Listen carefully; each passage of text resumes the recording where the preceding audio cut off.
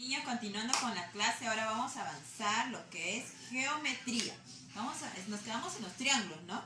Ah, sí, hemos visto el teorema de Pitágoras, eh, la propiedad, este, una propiedad, la suma de interiores de, los ángulos interiores del triángulo. Ahora vamos a hacer el perímetro. El perímetro es facilísimo. ¿De qué trata el perímetro? El perímetro es todo lo que está alrededor. En este caso de un triángulo, ¿no? Vamos a hacer el perímetro de un triángulo. ¿Qué viene a ser? La P representada por perímetro, igual P, la suma de lados. Entonces, vemos acá, vamos a poner acá, reemplazamos. P, que significa perímetro, es igual, la suma de lados. ¿Qué tenemos acá de AB? 17 centímetros, ¿no? ¿Qué más? Más 18 centímetros más 25 centímetros. Ya está.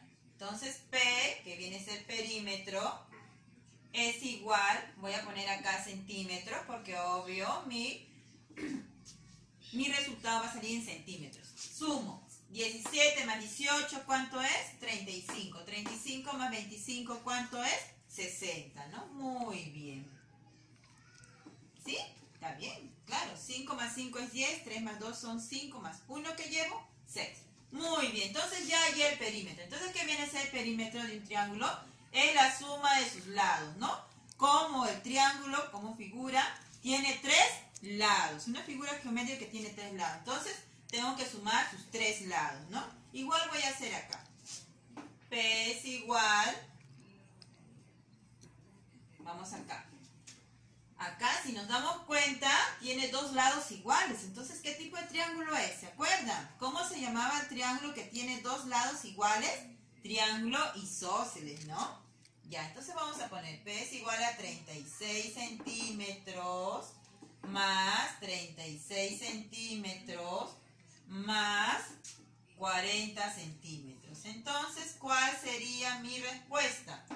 P, que es igual a perímetro, es igual, vamos a poner centímetros porque va a salir igual mi respuesta es centímetros. 36 más 36, 72. 72 más 40, ¿cuánto es?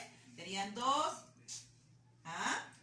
Pongo 2, 7 más 4, ¿cuánto es? 11. 112. 72 más 40 es igual a 112. Ahí está. 112 centímetros. Muy bien. Vamos a hacer más ejercicios y vamos a combinar, vamos a hacer otros ejercicios también, recordando lo que la propiedad de suma de ángulos interiores, ¿ya? Para practicar, ustedes tienen que practicar bastante para que aprendan, si no, ¿cómo van a aprender, ya? Vamos a hacer unos ejercicios acá. Esto está fácil, solamente para que sumen, ¿ya?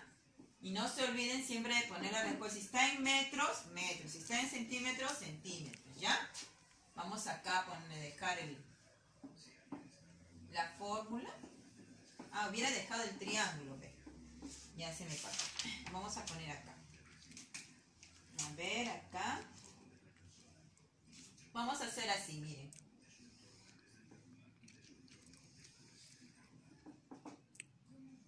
Ah, ¿se acuerdan cuando hacía esto de acá?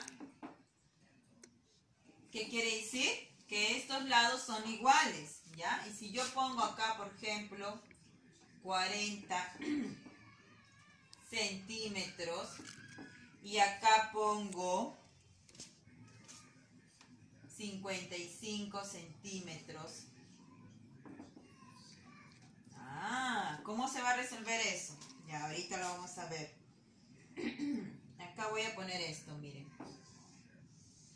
Tienen que darse cuenta que en un triángulo ustedes tienen que verificar qué tipo de triángulo es. Y así de repente dan un dato, entonces sabiendo qué tipo de triángulo es, ya puedes resolverlo todo. Acá.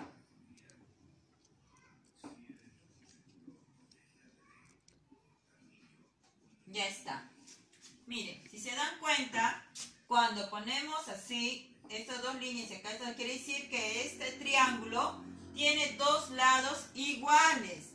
Si este lado tiene 40 centímetros, entonces este lado también va a tener 40 centímetros, ¿ya? Fijarse bien. Y ahí ya completé mis tres lados, 40, 40 y 55. Entonces pongo acá, perímetro es igual a 40 centímetros más 40 centímetros más 55 centímetros. Ya está. Entonces, ¿qué pongo? Entonces pongo acá mi centímetros porque sé que va a salir en mi resultado y sumo. 40 más 40 es 80. 80 más 55, 135. Ahí está. Ya está. En el caso de acá, ¿qué tipo de triángulo es? Cuando tiene una rayita en cada lado, ¿qué significaba? Que es triángulo equilátero, que es un triángulo que tiene sus lados iguales, ¿no?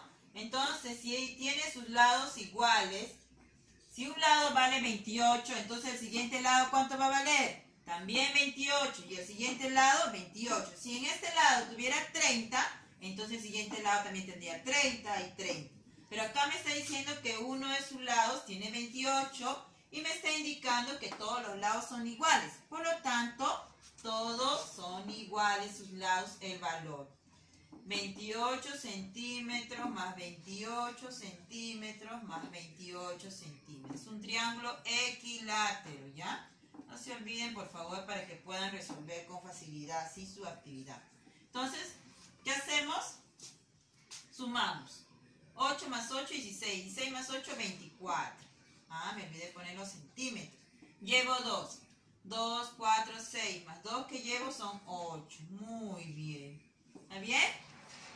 Ya está. 84 centímetros. Ya, esto es en cuestión lo que es perímetro. Ahora vamos a recordar lo que era la suma de ángulos interiores. ¿Se acuerdan? La suma de ángulos interiores es aquella suma de ángulos que te tiene que dar 180 grados, ¿no? Entonces vamos a avanzar un ejercicio para que se acuerden, ¿ya? Así, miren. Y así va a haber un ejercicio, dos, para que se acuerden y no se olviden. Acá sí. Esto vale 3x. Esto vale 2x el ángulo y esto vale X. Ya está. Listo. Entonces te dice hallar, dice la solución. Y ahora va a ser así. Entonces la solución va a ser X más 2X más 3X es igual a cuánto? A 180 grados. Porque me dice que la suma de estos ángulos me tiene que dar 180 grados. Entonces sumo. ¿Se puede sumar? Claro que se puede sumar. Todos tienen el mismo X, ¿sí o no? Pero acá, como tiene un X nada más, entonces solo tiene que es 1. Entonces sumo. Primero voy a poner acá mi X, y este es igual a 180 grados. Voy a poner así ya de frente. Y yo comienzo a operar los números, que es 2 más 3 es 5.